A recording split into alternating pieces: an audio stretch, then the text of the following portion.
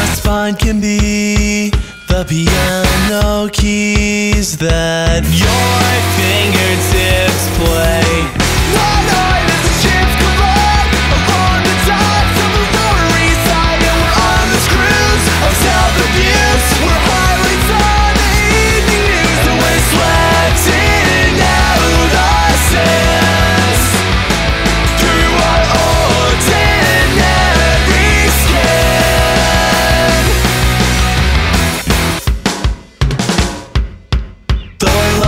touch.